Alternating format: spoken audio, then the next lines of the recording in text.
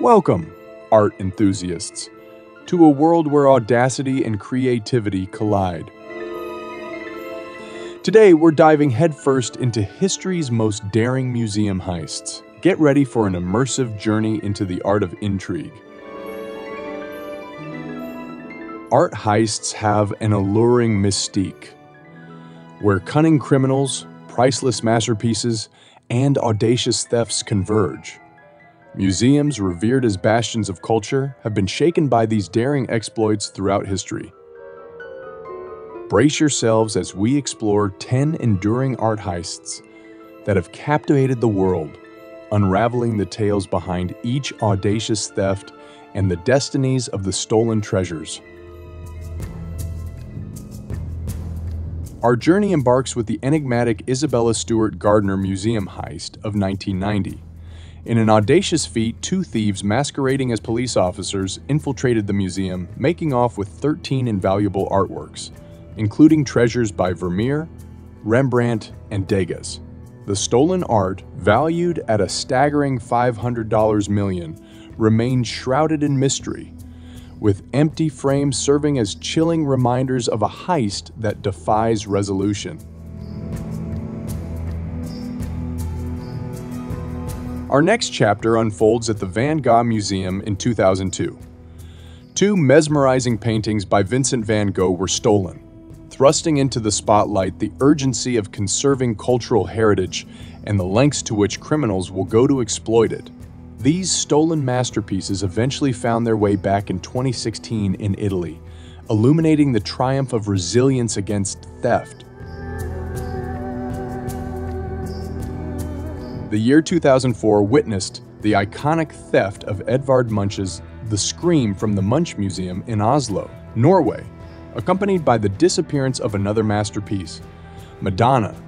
These evocative works resurfaced in 2006, offering a fortunate twist in the narrative of stolen art. This segment delves into the emotional and symbolic power of these pieces and the lengths institutions undertake to shield their treasures. Our journey takes a thrilling turn to 2010 when a brazen theft reverberated through the Paris Museum of Modern Art. An audacious thief pilfered five paintings, including works by Picasso, Braque, and Modigliani, boasting an estimated valuation exceeding $100 million. Years later, the stolen art lingers in the shadows, casting an unexpected pall over the vibrant collection. The year 2012 thrust the Kunsthal Museum in Rotterdam, Netherlands, onto the center stage of an audacious heist. In a scene reminiscent of a thriller, seven paintings adorned with names like Picasso, Monet, and Matisse vanished without a trace, with a collective value soaring into the tens of millions. These stolen masterpieces remain elusive, sparking crucial debates about museum security and the far-reaching impact of such transgressions on the world of art. We rewind to 1985 in Mexico City, where the National Museum of Anthropology suffered a grievous theft. Valuable pre-Columbian artifacts, including the illustrious Aztec sunstone, were spirited away. While some treasures were later recovered, this incident thrust the international market for stolen cultural artifacts into sharp focus, igniting ongoing endeavors to repatriate these invaluable relics. Our narrative journeys to Rome in 1987, where audacity took the form of a theft from the National Gallery of Modern Art. Four illustrious paintings by Cezanne, Monetti, and Van Gogh vanished only to reappear almost a decade later in 1999. This recovery became a beacon of hope, shedding light on law enforcement's determination to reclaim stolen art and restore the balance between justice and the art world. The year 2011 bore witness to a singular thief targeting the Ashmolean Museum in Oxford, England. This daring act culminated in the theft of an assortment of Chinese art, including jades and ceramics tracing back to the Ming and Qing dynasties. Much of this stolen legacy persists as a poignant reminder of the illicit demand that swirls around culturally significant artifacts. In 1972, Audacity took on a new form as three armed thieves orchestrated a brazen heist at the Montreal Museum of Fine Arts. Their haul included an array of jewelry and artworks, featuring luminaries such as Rembrandt, Bruegel, and Delacroix.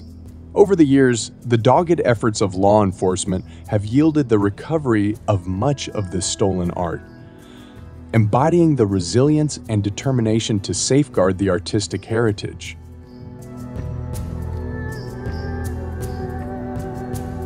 Our final chapter takes us to the Oslo Cathedral in 1994, where Edvard Munch's The Madonna was surreptitiously purloined.